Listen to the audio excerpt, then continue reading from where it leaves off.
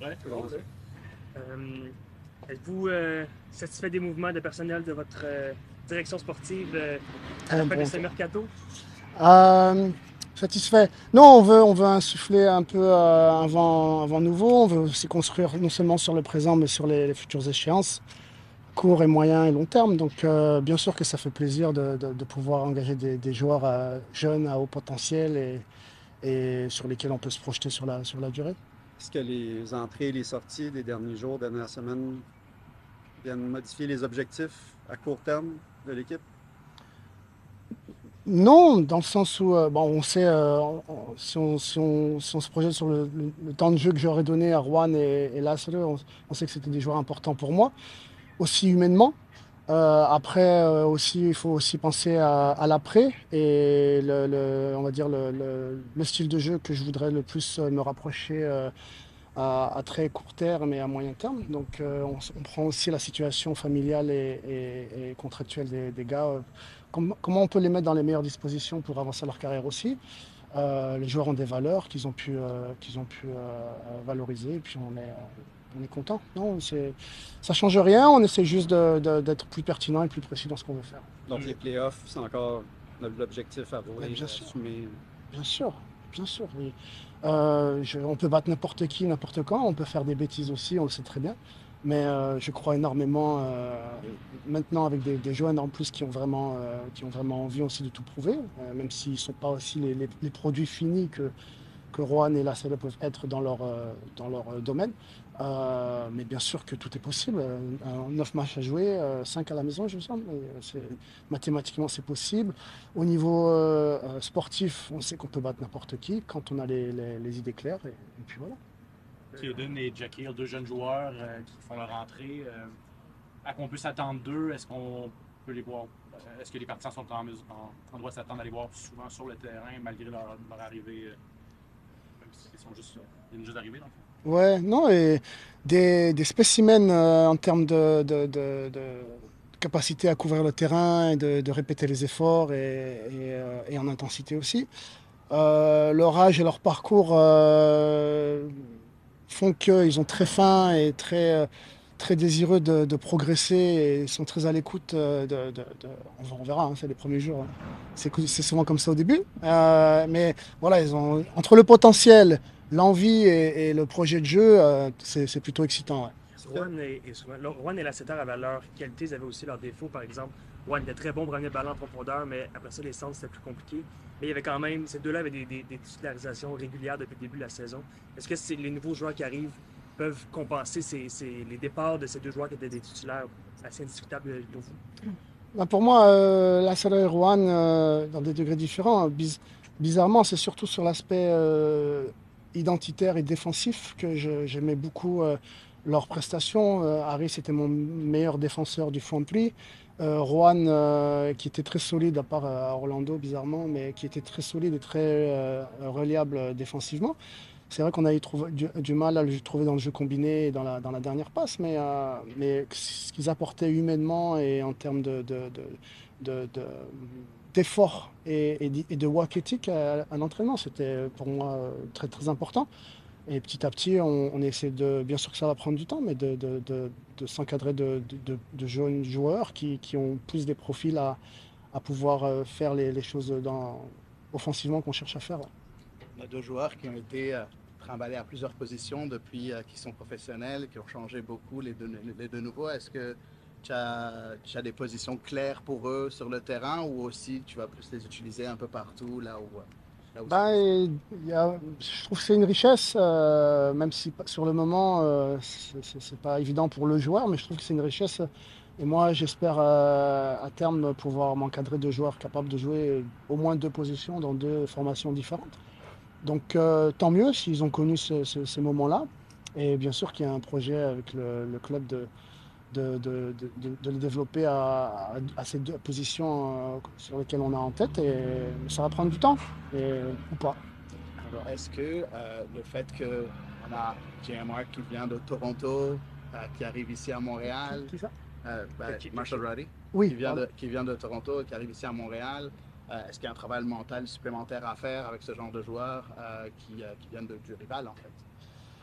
Euh, bah, je vais lui poser la question. Je vais poser la question autour de moi. Le, le petit est tellement, il était barré par des joueurs qui coûtent des, tonnes de millions. Il veut juste être considéré, qu'on lui porte de l'attention, qu'on qu'on essaie de le développer ses qualités. Et c'est pas que sur le, nombre de minutes en termes de, le, week-end, c'est aussi comment on développe ses qualités.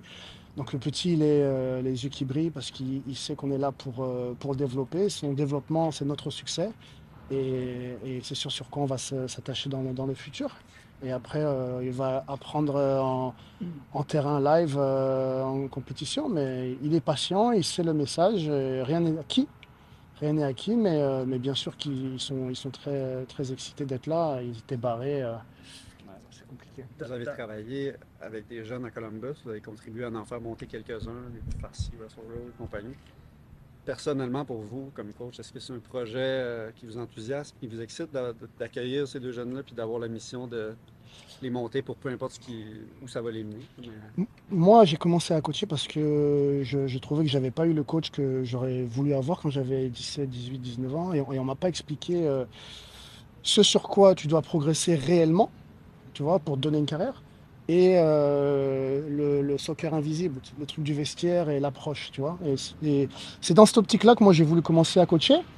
Et quand tu as des petits euh, qui sont à fort potentiel et qui en plus ont, faim de, vouloir euh, progresser et, sont, sont tellement, on va dire, contents d'être là, c'est, ben, pour moi, c'est pour un entraîneur, n'importe qui, ça fait, ça fait plaisir. Il n'y a rien de plus douloureux pour un, pour un, un entraîneur ou un papa, c'est de voir quelqu'un qui traîne les pieds quand, euh, quand il tape euh, le ballon. Quoi.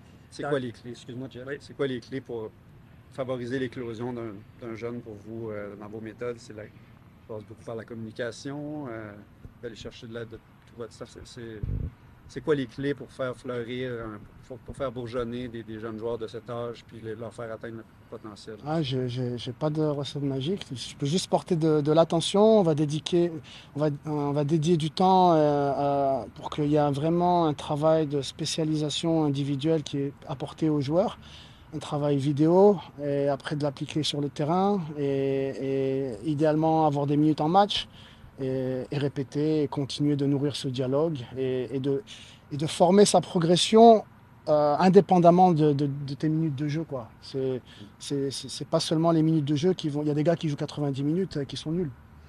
Donc, euh, et on a beau leur dire et leur montrer, et, et voilà. Alors que peut-être que toi, même si tu contribues que 10, 20 minutes, mais ça contribue à te construire pour ta version future.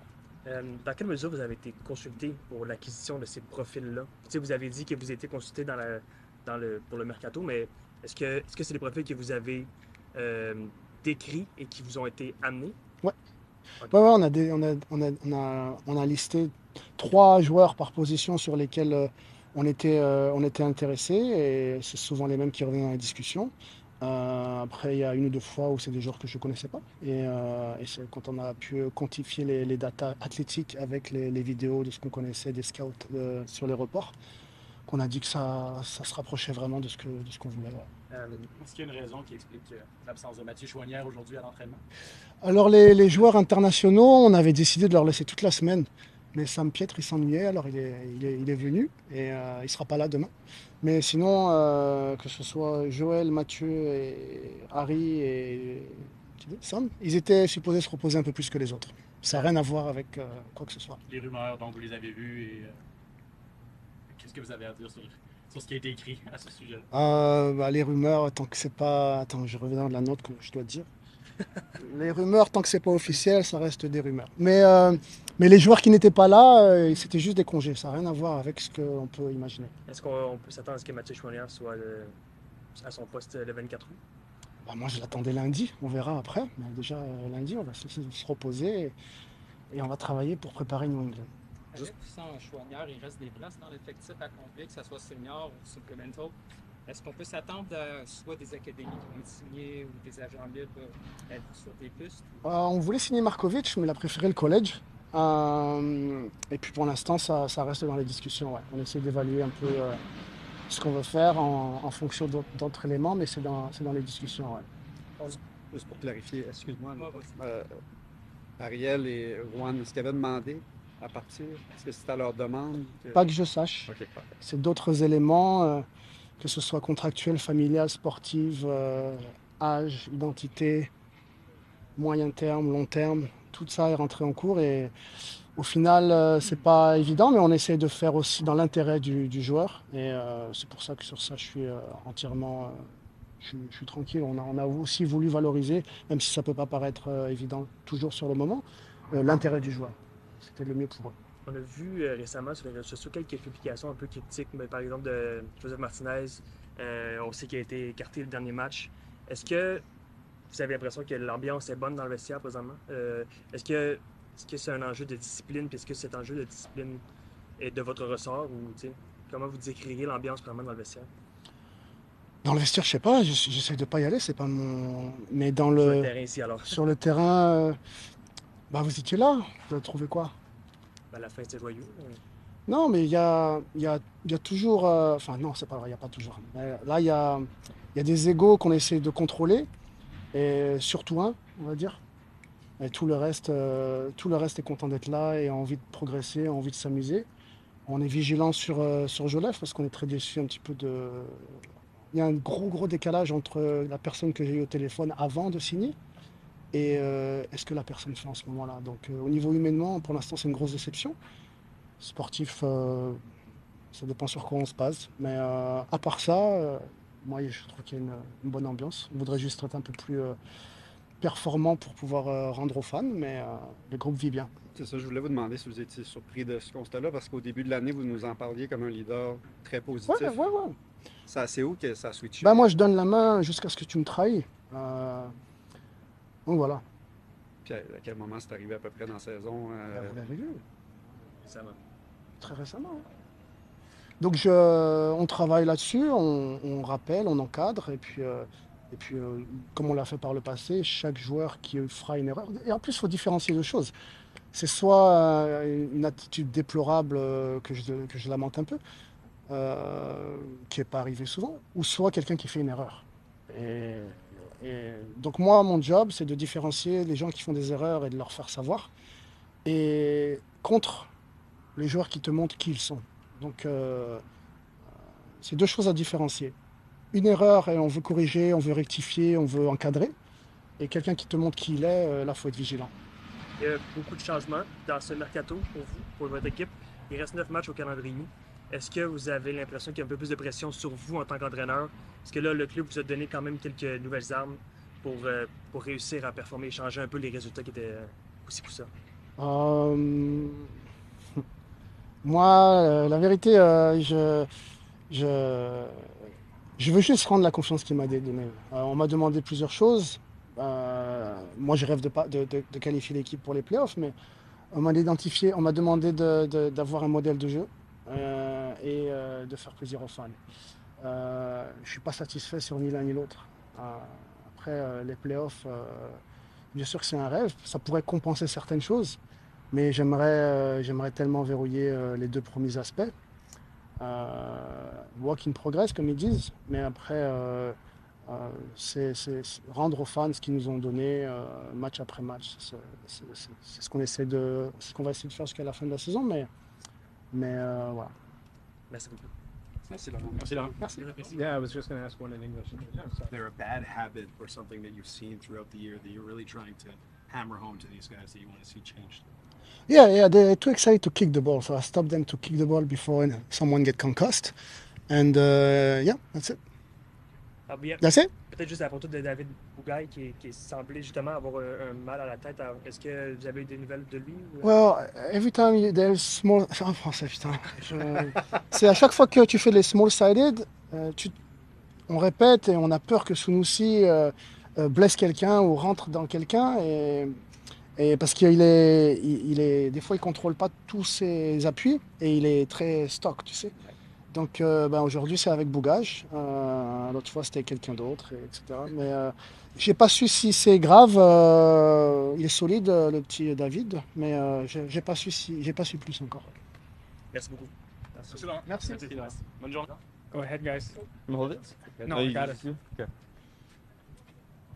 How long you been here? When did you uh, make it here? Yeah, I arrived uh, Sunday night, so had a couple days. Today's uh, Thursday. right? Today's Thursday, yeah. So I had a couple days to do some individual training and kind of get up to speed with everything and explore the city. So uh, it's been nice. So I've enjoyed my time so far. When did you learn about the trade, and what was your reaction when you learned it was Montreal? Yeah, I think it was last Thursday, uh, I believe, because uh, the window closes here sooner. Um, so Minnesota basically just texted me and called me and you know asked me if if I would want to go here, um, and they proposed their plan to me, and uh, you know I was kind of in a spot where wasn't playing my preferable position, um, and the team was going through a transition, and it's never easy to leave home. Um, you know, but I trust these guys here, and, and they trust my abilities, so it was a co- commitment from both sides, and happy to be here. What was the, the plan that they, they spoke to you about uh, here? Yeah, of course. It's kind of you know just getting back to my roots and and playing my position and and, and going to my full potential. Um, you know, and see where that takes me. Uh, so I'm very happy to be here and excited. So you had the final say. If you wouldn't want to be here, you wouldn't be here, basically. Yeah, you know this league. This league is uh in their trades. You know, some people don't know, some people know, but you know Minnesota was respectfully, uh, you know, they they respected my decision and and gave me a choice, but you don't know what, where that could have led to. um, but no, I'm happy to be here, and, and yes, I wanted to join. What's your preferable position? More on the uh, attacking side? Yeah, ten or eight, I prefer. Um, you know, it's coming down to get the ball and connecting with my teammates, and or staying in the pocket and getting it behind. I think I can do both. Um, so that's where I like to play, and, and I haven't been playing there, so I'm happy to to get that here. What did you know about Montreal before coming here, and maybe what did you learn since the, the first, first few- first few days here? Yeah, uh, I played here one time with New York Red Bulls, um, so I've been here before, and I enjoyed the city uh, when we were here, and the food's very good, and uh, it's a vibrant city, and there's a lot going on. So I, I kind of feel like sometimes when I walk out of buildings, I'm in New York a little bit, like some buildings and same type of vibe, um, which is which is nice to to feel that because I played there for three years, so um, doesn't feel too much different, just the French. Does it The feel French. like Jersey or New York? Different. Nah, n- more New York than Jersey. Yeah, yeah, yeah, yeah, yeah, yeah.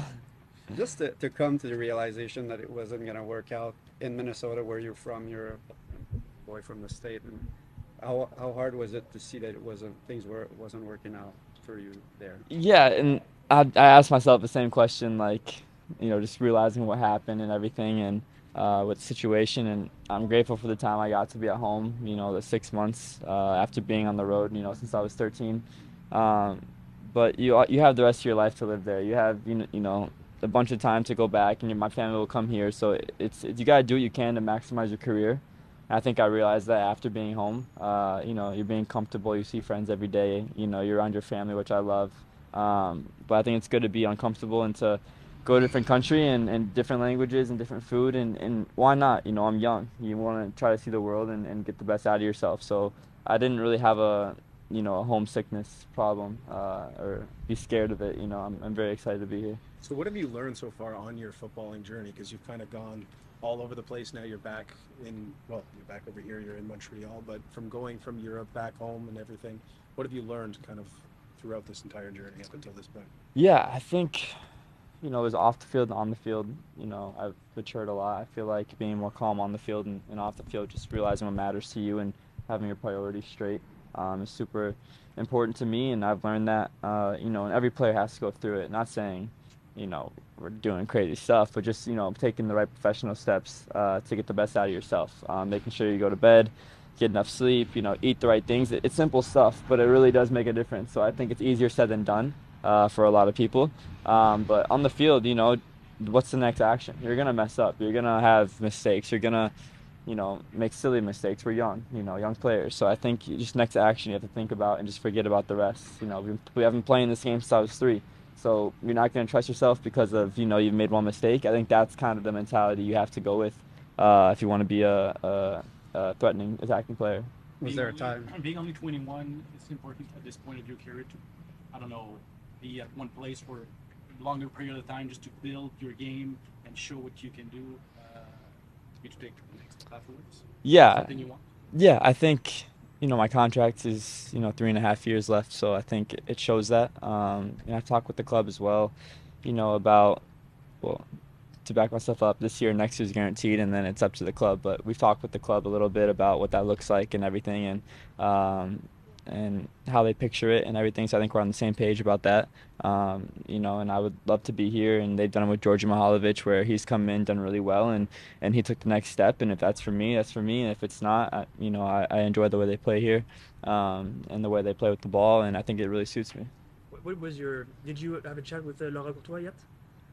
Sorry. Uh, Did you have a chat with uh, uh, Laurent Courtois? The sorry. Yes, I just didn't understand. Yes, yes, yes, yes, well as the yes. We had we've had a couple chats and and just kind of brought me into the team and what to expect and and uh, and everything. And like I said, we're on the same page about things. And I hope I can gain his trust and uh, you know vice versa. And, and we can you know push for playoffs this year and, and go beyond that. There's been a lot of changes recently within the club here. You're one of the new players that are coming in. Um, you kind of have. Do you have the, the, the feeling that you get the keys of the of, the team offensively now? Like, do you did you get that feeling with the chat with Laurent Courtois, uh, or Yeah, of course. Talks, you know, I want to come in and, and, and, and be one of the main guys to help a team out. But you can talk about all you want, but I have to show it in the in the field to trust to get the trust of my strikers and my midfielders and and you know want them to give me the ball. I think that's very important. And I grew up with Bryce Duke, you know, playing in Barcelona Academy, so we know each other's movements and we've already connected a couple times. And it's just learn it's just learning the tempo of how the guys play and where they like it and where they don't like it. Um, and same for me. You know, I think it's just going to take a little bit of time, but we we're already gelling, you know, pretty well, and and the vibes in the locker room and the people, you know, very good people, and I, like I said, I'm enjoying myself, and uh, nothing nothing bad to say. Georgie is a bit older than, than you. Mhm. Do you know him personally? Have you talked to him at all? Yeah, we've uh, we have the same agent, so kind of similar situation that went down when he was you know 21, I believe. He came maybe 22. He came here um, to find his feet again, and and he flourished, and uh, and now he's doing well now back in Colorado. Um, but we've talked a little bit after games and everything about how everything's going and, and everything. So yeah, we're in contact a little bit, but nothing uh, nothing like like best friends. But I'm I'm gonna reach out to him probably and, and get his take on you know the city and where to live and everything. I'm curious, in hindsight, if you think you made the move to Europe a little bit too early in, in your journey. Yeah, I, I think this is the thing I have about Europe is going to Europe's great. Like just calling it Europe for you know, it, it's you have to find the right place. The right place. Do you really want to leave somewhere, uh, you know, where you're not comfortable, but you know the players, you know the system, you know everything. To go to a new one and the, the uncertainties, you have to find the right place and and uh, find your feet quickly. I think that game is very quick and no one, you know, messes up there, and they have world class players. So I think for me, it, wasn't about too quick. I think it was just kind of the way things played out in New York at the end, uh, just with the playing time and the coaches. And it's always tough when you have a transfer agreed and then you're there for a year, and, and some people had different views on you because you're leaving and, and everything. Uh, so I don't think it was too early. I think it was just, uh, you know, injuries and, and just the, the, the coaching, the coaching staff, just what they, what they believe for me and everything. And you talked earlier about uh, you know, accepting that you're going to make mistakes and uh, dealing with it. Was there a time when you were too hard on yourself? Maybe did you grow in, in that uh, Yeah. that side of things? Yeah, of course. I think everyone tries to be perfect in everything they do. They try to be the best they can do. Um, but it's about your reaction. It's about seriously forgetting about the next, the last play. You can't think of it and let it drag you on. You know, if you have your first bad pass in a game, are you gonna let that decide your game for you? Like, no, you you gotta forget about that. And and uh, you know that's my approach going into it. Is I'm gonna mess up, but you know if I mess up ten times, but one of them goes through, it's a goal. You know, so uh, you just gotta keep trying and trying. Thank you very Yeah, much. of course. Thank you. Welcome. Thank you guys. Yeah, can you officially say that Montreal is better than Toronto? After two days. Putting him on the spot. I know, I know. Yeah, real question. Yeah, we're just messing with you. Seriously, how surprised were you, and what was your reaction when you uh, saw the trade?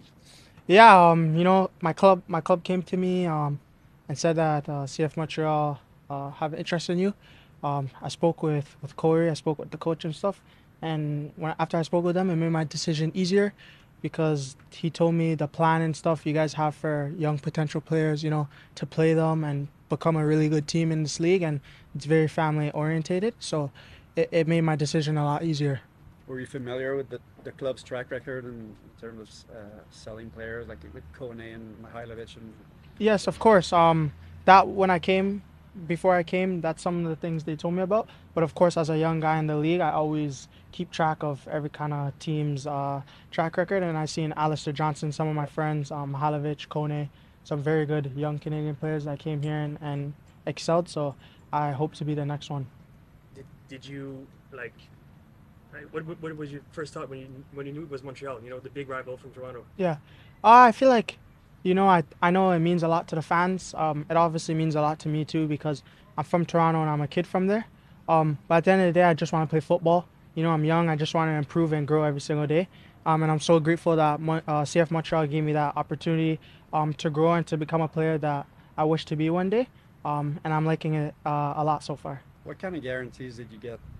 I know, I know there's no uh, playing time ever guaranteed, but Yeah. what, what, how big of a part of the discussion was it? Like the guarantee that you were gonna have your opportunities Mm. to earn your spot? Yeah, like you said, there's no guarantee. You know, I have to come here and still work hard and and um, show prove myself.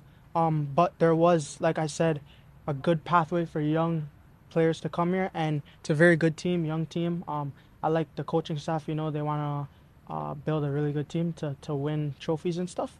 Um, and that's why I came here to win and to develop. They basically made a way for the new guys, you, uh, to to have some room to play right now because they, they traded Ruan and Ariel Lassiter. So.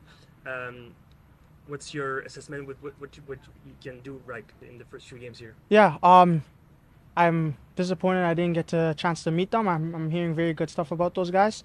Um, but it's football, you know. There's trades within the whole league. Um, I'm grateful, like I said, that Montreal has given me this opportunity. So, uh, of course, you know, I know this is a chance for me now because they moved those guys.